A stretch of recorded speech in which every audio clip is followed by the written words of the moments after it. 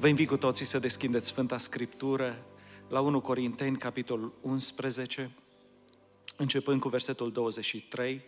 1 Corinthians, chapter 11, starting with verse 23. Cuvântul Domnului spune așa.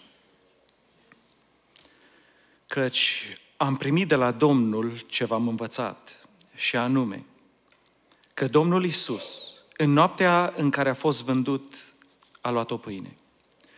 Și după ce a mulțumit lui Dumnezeu, a frânt-o și a zis, luați, mâncați. Acesta este trupul meu care se frânge pentru voi. Să faceți lucrul acesta spre pomenirea mea. Tot astfel, după cină, a luat paharul și a zis, acest pahar este legământul cel nou în sângele meu. Să faceți lucrul acesta spre pomenirea mea ori de câte ori veți bea din el. Pentru că ori de câte ori mâncați din pâinea aceasta și beți din paharul acesta, vestiți moartea Domnului până va veni El. De aceea, oricine mănâncă pâinea aceasta sau bea paharul Domnului în chip nevrednic, va fi vinovat de trupul și sângele Domnului. Fiecare să se cerceteze, dar pe sine însuși și așa să mănânce din pâinea aceasta și să bea din paharul acesta. Căci cine mănâncă și bea, își mănâncă și bea o sânda lui însuși, dacă nu deosebește trupul Domnului. Din pricina aceasta sunt între voi mulți neputincioși și bolnavi și nu puțin dorm. Dacă ne-am judecat singuri, n-am fi judecați. Dar când suntem judecați, suntem pedepsiți de Domnul ca să nu fim osândiți odată cu lumea. Până aici cuvântul Domnului. Vă invit cu toții să reocupați locurile. Mulțumim Domnului pentru prezența Lui în această dimineață. Mulțumim Domnului pentru grupul de închinare. Domnul să-i binecuvânteze. Au cântat așa de frumos. Și Domnul să-l binecuvânteze pe Andrew și Rebecca. Și Domnul să te binecuvânteze, Brother Andrew, pentru cuvântul care l-ai adus. Un cuvânt așa de minunat pentru noi în această dimineață. Mi-am intitulat mesajul meu în această dimineață deosebirea și cercetarea necesară la masa Domnului. Uh, dacă ne uităm la biserica aceasta la care scrie Apostolul Pavel, biserica din Corint, dacă biserica din Corint ar fi astăzi aici, în zona Los Angeles, noi am spune despre ei că ei sunt o biserică autentică și cu siguranță am spune că sunt o biserică penticostală. Dacă ne uităm la capitolul 1, uh, scrie acolo Apostolul Pavel că ei erau îmbogățiți în toate privințele. Erau niște oameni binecuvântați. Și apoi scrie Apostolul Pavel că ei nu duceau lipsă de nici un fel de dar. Toate darurile erau prezente în biserica din Corint. Și parcă apare așa o confuzie, am zice eu, sau ceva care pare să fie contradictoriu. Cum au ei toate darurile în biserică, inclusiv darul de vindecare? Au daruri în biserica lor și în același timp sunt mulți bolnavi, mulți neputincioși și nu puțin dorm, anume oameni care au murit prematur. Cum poți să ai dar de vindecare, să ai toate darurile și totuși să nu beneficiezi de ele? Cred că biserica aceasta din Corint este tabloul bisericii penticostale de astăzi. Unde găsim the same contradiction. Și întrebarea este de ce? Și răspunsul îl găsim în cuvântul Domnului. În primul rând, aș vrea să spun că sărbătoarea Cinei Domnului este o proclamare. Noi proclamăm ceva foarte specific. Proclamăm ceea ce a făcut Domnul Isus Hristos pentru noi prin jertfa Lui de la cruce. Și atunci când elementele acestea sunt în fața noastră, este, este o proclamare pentru noi cei din biserică și pentru cei din lume a ceea ce a făcut Domnul Isus Hristos pentru noi. Că ne-a iubit atât de mult Dumnezeu, că a dat pe Fiul Lui să moară ca oricine crede în El, să nu piară, să aibă viață veșnică. Proclamăm că este și astăzi mântuire pentru cine crede. Atunci când noi ne gândim la cuvântul mântuire, de obicei ne gândim la aspectul acela etern, da? Când trecem la cele veșnice, când trecem Iordanul, cum am spune noi, o să fim acolo cu Domnul. Și mântuirea include acest aspect. Dar mântuirea include mult mai mult. Cuvântul mântuire vine din cuvântul sozo, din limba greacă, care înseamnă, înseamnă salvat, dar înseamnă și eliberat, înseamnă restaurat, înseamnă vindecat, înseamnă făcut întreg. Vedeți, mântuirea Domnului Isus Hristos include absolut tot ce avem noi nevoie pentru viața aceasta și pentru eternitate. Și atunci când le spunem oamenilor despre mântuirea lui Dumnezeu, noi spunem că Domnul atinge fiecare aspect al vieții noastre. Și noi, prin cina Domnului, proclamăm aceste lucruri.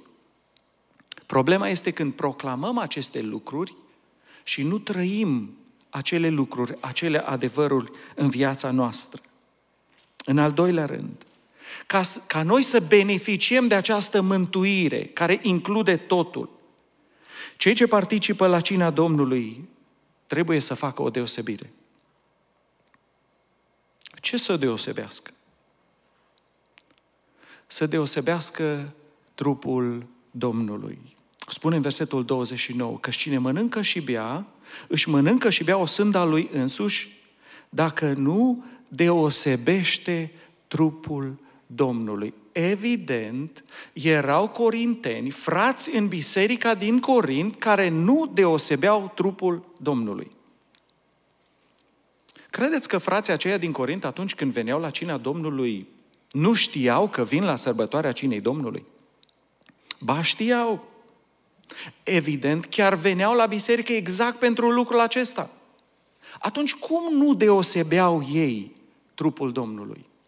În primul rând, credincioșii din Corint nu deosebeau trupul Domnului în mădularele din trupul Domnului, adică nu deosebeau trupul Domnului în frații și în surorile care erau în biserică.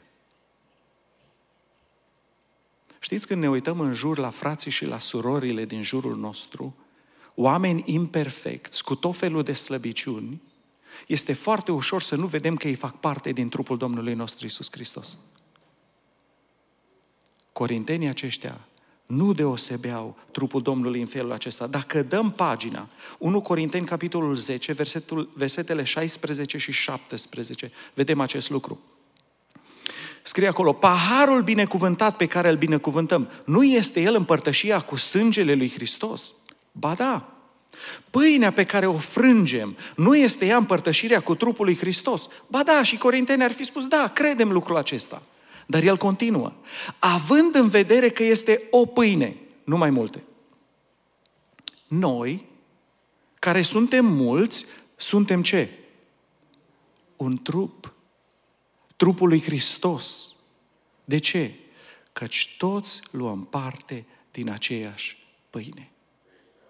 Și corintenii nu vedeau lucrul acesta. Pentru că frații din Corint nu deosebeau trupul Domnului, mădularele, în frații și surorile care erau în, acolo în biserica lor, au dat loc vrăjmașului să vină și să săpare pe mădulare una de cealaltă. Cum? Prin neiertare, amărăciune, ofensare, poticnire, judecată, partide, vorbire de rău, bârfă,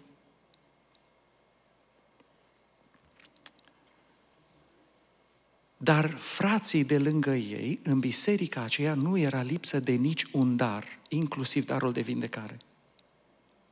Și cei din biserică nu puteau să beneficieze de darurile lui Dumnezeu în mădularele din biserică pentru că erau separați. Mi-aduc aminte de un exemplu care l-am auzit de la păstorul care i s-a întâmplat.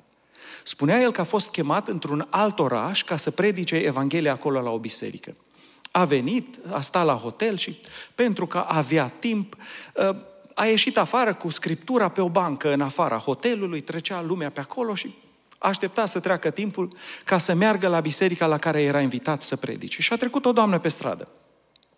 L-a văzut acolo cu Biblia lângă el și a zis, good book, huh? Și el a spus, yes, it's the best book. Era vorba despre Scriptură. Și femeia aceasta l-a întrebat, dar ce faci aici, în orașul acesta? Și el a spus, sunt invitat să vorbesc la biserica cu tare de aici. Și a spus, oh, cunosc biserica, eh, biserica aceea, I used to go there. Eu am mers la acea biserică.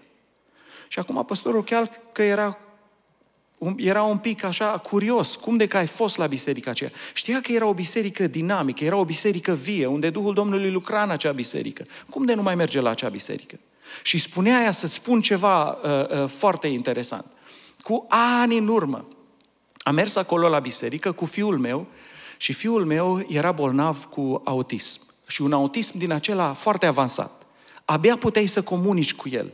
Școala, să înveți, era foarte dificil. Și predicatorul din acea biserică, după mesajul lui, a spus că dacă sunt aici familii care au copii cu autism, să-i aducă în față și mă voi ruga pentru ei. Și spunea ea, am ieșit cu fiul meu cu autism acolo în față. Și omul acela lui Dumnezeu s-a rugat pentru copilul meu. Și ceva extraordinar, Dumnezeu l-a vindecat total. Și spunea, astăzi este printre primii la școală, poți să comunici cu el, nu este nici urmă de autism. Un lucru extraordinar. Nu este astăzi soluție, medicamente pentru autism. Doar Dumnezeu poate să vindece și de boala aceasta. Și acum omul acesta era al lui Dumnezeu curios, dar cum s-a întâmplat o minune așa de mare și tu nu mai mergi la acea biserică? Și a întrebat-o, da, de ce nu mai mergi la acea biserică? Și a spune, oh, pentru că atunci când a venit Crăciunul, ei au început să decoreze pentru Crăciun. Și știi că Crăciunul este o sărbătoare păgână. Eu n-am să merg la nicio biserică care sărbătorește o sărbătoare păgână. Și parcă omul acesta îi spunea, dar fiul tău a fost vindecat acolo. A intrat diavolul prin ofensă să taie pe un mădular de la sursa de viață care era în acea biserică. Pentru că nu deosebim mădularele Domnului în frații și în surorile din jurul nostru. Știți că biserica aceasta, atât de imperfectă cum este, cu un păstor imperfect, cu ceilalți păstori imperfecți, cu slujitori imperfecți, cu membrii imperfecți, toți oamenii aceștia sunt mădulare în trupul lui Hristos? Știți că Domnul a pus în noi daruri? Știți cum este cu un dar? Nu este cu merit. Cum mergi și pui ornamente pe un pom de Crăciun, așa vine Domnul în viețile noastre și ne dă daruri. Tot felul de daruri, dar de vindecare, de tămăduire, cum scrie în Scriptură, dar de prorocie, dar de vedenie, felurite daruri. Dar acelea nu sunt ale noastre. Vine Domnul și ni le dă. De ce? Pentru folosul altora, acelora din jurul nostru. Domnul a pus toate resursele de care noi avem nevoie aici, în această biserică. Diavolul va veni să ne fure de darurile care le-a pus Domnul în frații și surorile din jurul nostru. Cum? Neiertare, amărăciune, ofensare, poticnire, judecăți, partide, vorbire de rău, bârfă. De-a lungul anilor am observat ceva. Am observat frați care vin la biserică, care au atâta drag pentru biserică, pentru casa Domnului, pentru rugăciune. Și se nimerește să vină câte un frate sau o soră care și vorbesc și vezi pe oamenii aceia care erau plini de pasiune pentru casa Domnului, plini de entuziasm, veneau la rugăciune, aveau râvnă pentru casa Domnului, dintr-o dată separați de trupul Domnului, de restul bisericii. Vă întreb, dacă mâna asta, a, aceasta a mea o separ de trup, mai poate mâna aceasta să fie hrănită? Mai poate să primească sânge oxigenat? Mai poate ca sistemul imun să apere mâna aceasta? Nu. Moare încet, separat. Așa face Domnul cu, așa face diavolul, pardon, cu turma Domnului. Vine să-i separe ca să-i omoare încet. Credincioșii din Corint aveau tot felul de probleme pentru un motiv.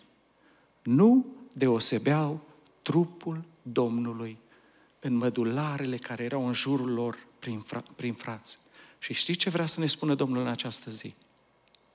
Să fim reintegrați. Și separarea aceasta nu este întotdeauna fizică, care oamenii pleacă de la biserică. Poate să fie o separare emoțională și nu mai poți să primești din darurile care este în fratele tău.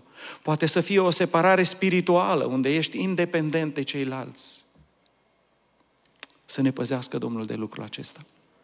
În al doilea rând, credincioșii din Corint nu deosebeau trupul Domnului în elementele de la masa Domnului. Erau ignoranți față de ceea ce reprezentau elementele de la masa Domnului. Domnul Isus a spus, acesta este trupul meu. Acest pahar este legământul cel nou în sângele meu. Nu pot să beneficiez de mântuirea care include tot la masa Domnului dacă nu deosebești lucrul acesta. Elementele la care noi ne untăm sunt, sunt o reprezentare a unui adevăr spiritual mai real decât elementele pe care le vedem. Am observat, fraților, acum mai nou, am fost în, în biserici unde este tratată cina Domnului cu atâta nonșalanță, parcă it's no big deal. Am văzut apus acolo un bol cu elementele cinei Domnului, oricine poate să intre, să ia, să... nici o reverență și nici o frică de Domnul. Parcă suntem din nou în biserica din Corint. Elementele care ne stau în față sunt o reprezentare la un adevăr atât de profund. Mi-aduc aminte de un păstor din România care uh, spunea că el era păstor de sector și uh, trebuia să meargă prin biserici ca să dea cina, uh, evident o dată pe lună cel puțin. Și spunea că a fost într-o biserică și trebuia să dea cina și frații acolo din conducere l-au luat deoparte să-i spună că este o problemă între doi frați din biserică. Și a aflat acolo că era un tânăr care era proaspăt venit la Domnul în credință, dar la locul de lucru lucra cu un alt frate care era de multă vreme pe calea credinței și era undeva la construcții, pe șantier. Și fratele acesta tânăr, plin de râvnă pentru Domnul, a, observ, a observat că fratele mai în vârstă, care era de multă vreme pe calea Domnului, fura materiale de la lucru. Și s-a dus la el și a zis, frate, dar e un păcat lucrul acesta, nu poți să faci lucrul acesta. Fratele acesta în vârstă, de multă vreme pe calea Domnului, a fost foarte ofensat. Cum înveți tu pe mine pocăință? Și l-a dus la comitet. Și frații din comitet au spus, frate, dar fratele tânăr are dreptate. Și încercau frații să-l convingă să nu ia cina Domnului în duminica aceea. El a fost cu gură mare și a zis, știți ce? Eu iau cina Domnului pe responsabilitatea mea. Frații au zis, bine, ia cina Domnului pe responsabilitatea ta, dacă așa vrei. Și spunea păstorul acesta, când a venit farfuria cu pâinea care reprezintă trupul Domnului, ca să facă scena, a ridicat așa o mână în sus și a luat și a mâncat din pâine. Nu s-a întâmplat nimic. A venit paharul care reprezintă sângele Domnului. A băut. Nu s-a întâmplat nimic. S-a terminat programul și fratele acesta, când a ieșit din biserică, l-a văzut pe fratele acela că l-aștepta în fața bisericii. Și cu un zâmbet așa mai sarcastic i-a zis, ai văzut că nu s-a întâmplat nimic. Și după ce a zis cuvintele acelea, a căzut mort în fața bisericii. Fraților, cum spunea fratele Andrew, nu este nici unul din noi care să fim vrednici să venim la casa Domnului, dar avem nevoie de o reverență. Corintenii aceștia nu făceau o deosebire care era absolut esențială. Mântuirea pe care am primit-o noi include și vindecare pentru fiecare din noi. Atunci când Domnul la cruce a rezolvat problema păcatului, El a rezolvat și problema bolilor. Vedem că păcatul și boala merg în tandem, dar și iertarea și vindecarea. Și nu putem să generalizăm, fraților. Cunosc Sfința lui Dumnezeu, care s-au rugat ca Domnul să-i vindece și le-a vorbit Domnul, nu, nu te vindec. Și la unii au spus, te iau acasă, pentru că așa vreau eu. Este important în smerenie să lăsăm pe Domnul să fie Dumnezeu. Dar în același timp, nu putem să negăm că mântuirea aceasta a lui Dumnezeu este pentru noi. Și parcă întrebarea din Isaia este pentru noi astăzi. Isaia 53 începe cu versetul 1. Cine a crezut în ceea ce ni se vestise? Și întrebarea este, cine mai crede ceea ce spune cuvântul acesta al lui Dumnezeu? Cine a cunoscut brațul Domnului? Cine mai experimentează ceea ce spune cuvântul Domnului? Și spune despre Domnul Isus. El a crescut înaintea lui ca o draslă slabă, ca un lăstar care iese dintr-un pământ uscat. Nu avea nici frumusețe, nici strălucire ca să ne atragă privirile. Și în înfățișarea lui n-avea nimic care să ne placă. Știți că oamenii sunt total ofensați de cina Domnului, oamenii din lume. Să mânci trupul lui Hristos, carnea lui, să bei sângele lui, spune barbaric, Domnule, ce înapoiere. disprețuit și părăsit de, oameni, părăsit de oameni, om al durerii și obișnuit cu suferința. Era așa de disprețuit că îți întorceai fața de la el. Și noi nu l-am băgat în seamă. Atitudinea lumii de astăzi. Dar cuvântul lui Dumnezeu, trupul lui și sângele lui ascunde așa comori. Totuși, El Suferințele noastre le-a purtat și durerile noastre le-a luat asupra Lui. Și noi am crezut că este pedepsit, lovit de Dumnezeu și smerit.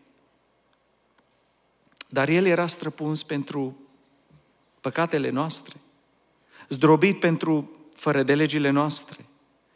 Și pedeapsa care ne dă pacea a căzut peste El. Și prin rănile Lui suntem tămăduiți. Observați, iertarea și vindecarea merg mână în mână. Psalmul 103 cu versetul 3. El, Domnul, îți iartă toate fără de legile tale, El îți vindecă toate bolile tale. Acestea vin împreună. Și întrebarea este, mai crede cineva lucrul acesta? Mai cunoaște cineva lucrul acesta? Mai deosebește cineva trupul Domnului în frații din jurul lui și surorile. Mai deosebește cineva trupul Domnului în elementele de la cina Domnului. Ca să beneficiem, avem nevoie să facem o deosebire. În al treilea rând, judecata Domnului intervine în dragoste atunci când noi nu ne facem datoria de a ne cerceta în versetul 32, 28 la 32. Spune, fiecare să se cerceteze, dar pe sine însuși. Și așa să mănânce din pâinea aceasta și să bea din paharul acesta. Dacă ne cercetăm, o să găsim multe lucruri care au nevoie să fie schimbate.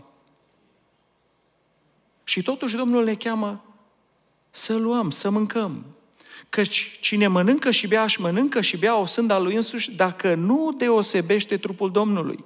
Din pricina aceasta sunt între voi mulți neputincioși și bolnavi și nu puțin dorm. Dacă ne-am judecat singuri, n-am fi judecați. Dar când suntem judecați, suntem pedepsiți de Domnul ca să nu fim osândiți odată cu lumea. Și acum întrebarea este, dar cum să ne cercetăm? Ce înseamnă să te cercetezi? Să te cercetezi înseamnă să te oprești din mers pentru un control spiritual. Să vii cu sinceritate înaintea Domnului și să spui, Doamne, aici sunt cu viața mea, cu mintea mea, gândirea mea, atitudinile mele, cu absolut tot. Și, Doamne, eu vreau să mă schimb. Doamne, eu vreau ca procesul pocăinței să aibă loc în viața mea. Atunci când venim la cina Domnului și ne deschidem inima înaintea Domnului. Duhul Sfânt o să ne arate lucruri care trebuie schimbate. Acestea nu ne opresc ca să luăm parte la masa Domnului, dar trebuie un element foarte esențial, pocăință. Să ne schimbăm gândirea și să schimbăm trăirea în acele momente.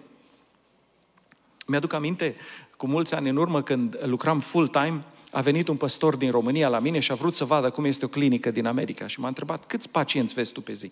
Și am zis între 35 și 50 și a zis, wow, cum poți să lucrezi pe atâția oameni? Și am, zis, am înțeles că nu m-a înțeles bine. Și am zis, nu, nu, lucrez doar pe 4 sau 5 la tratament. Toți ceilalți vin pentru tratament preventiv, pentru examen. Și el a, s-a gândit, conceptul acesta nu există în România. Toată lumea merge la doctor numai când are o problemă. Dar mai bine e să mergi dinainte la doctor, înainte să ai probleme. Și așa, aici, aceasta vrea să ne spună Domnul prin cuvântul acesta. Mai bine să venim noi la Domnul înainte ca să vină neputința, boala, să murim prematur. Să venim la Domnul pentru tratament. Să venim la Domnul și spunem, Doamne, eu nu vreau ca păcatul să-și facă efect în viața mea. Vrea Domnul ca fiecare din noi să venim cu atitudinea aceasta, Doamne, oare nu cumva sunt eu? Oare nu chiar eu te trădez, Doamne, prin trăirea mea de zi cu zi? Noi putem să declarăm uh, fidelitate față de Domnul și să-L trădăm prin trăirea noastră de zi cu zi. Vedem pe atâți de mulți care își vând dreptul de întâi născut pentru o ciorbă de linte, pentru un dolar. Știți că sunt oameni în această dimineață care puteau să fie aici, la masa Domnului, și preferă să fie acasă, în fața televizorului. Nu este aceasta o trădare? Cercetarea fraților nu este pentru condamnare. Atunci când ne arată Duhul Domnului ceva, nu. Este ca în acele momente să spunem, da, Doamne, iartă-mă, vreau să fac o schimbare în viața mea. Dar atunci când găsim păcat în viața noastră, nu contează cât de mic sau mare, știți care este plata păcatului? Moartea. Și dacă spunem că noi nu avem păcat, noi îl facem mincinos și adevărul nu este în noi. Și Domnul ne cheamă la masa Lui, cum spunea fratele Andrew. Evreul din Vechiul Testament, atunci când venea la templu, aducea de obicei un miel. Și mielul acela era pus pe altar. Și evreul punea mâna lui pe capul mielului și mărturisea păcatele lui. Și păcatele erau transferate pe miel, care era o preumbrire a mielului lui Dumnezeu. Și Domnul îl ierta. Atunci când venim la cină și Domnul ne arată păcatul din viața noastră, noi facem același lucru. Prin credință noi punem mâna pe capul mielului lui Dumnezeu și mărturisim păcatele noastre. Și El care este credincios și drept ne iartă păcatele și ne curățește de orice nelegiuire. Mai mult, ne tra- noi, păcatele noastre merg pe mielul lui Dumnezeu la cruce, dar neprihănirea Lui vine peste noi. Noi, niște oameni imperfecți și păcătoși, odată ce ne-am mărturisit păcatele, putem să ne apropiem, să luăm parte la masa Domnului. Elementul necesar este pocăință. Pocăință înseamnă schimbare în gândire și schimbare în fapte. Gândiți-vă dacă plata păcatului este moartea și despărțirea de Dumnezeu. Dacă nu ar interveni Domnul, atunci când noi avem păcat nemărturisit, când ne complacem în păcat, rezultatul ar fi o separare de Dumnezeu. Și scrie aici, dacă ne-am judecat singuri, n-am mai fi judecați. Dar când suntem judecați, suntem pedepsiți de Domnul ca să nu fim osândiți odată cu lumea, ca să nu fim separați de Dumnezeu pentru eternitate. Domnul intervine în dragostea Lui ca să ne trezim la realitatea spirituală în care ne aflăm și în concluzie. Cina Domnului rămâne o proclamare pentru noi și pentru lumea întreagă că Dumnezeu a împăcat lumea cu sine prin jertfa Domnului Isus Hristos. Mântuirea aceasta include salvare, eliberare, vindecare, restaurare pentru oricine care crede. Faptul că cina Domnului stă astăzi în fața noastră ne spune că mântuirea aceasta încă este valabilă. Dumnezeu încă iartă, încă mântuiește, încă vindecă, încă resta, restaurează, încă eliberează. Partea noastră este să credem acest lucru, să deosebim trupul Domnului în frații și surorile din jurul nostru, în elementele care ne stă în față. Mâncarea elementelor de la cina Domnului este actul nostru de identificare cu mielul lui Dumnezeu care a murit la cruce și este însușirea acestor beneficii. Vă invit, dragi frați și surori, să ne ridicăm cu toți în picioare. Și aș vrea să intrăm înaintea Domnului într-o rugăciune de mărturisire, dar să nu ne grăbim. Să lăsăm ca Duhul Domnului să ne lumineze. Să venim înaintea Domnului și să-i spunem Domnului că noi vrem să ne pocăim Vrem schimbare în viața noastră. Vrem beneficiile care El le-a câștigat la cruce. Și în timpul acesta invit pe toți frații slujitori să vină sus, să ne rugăm.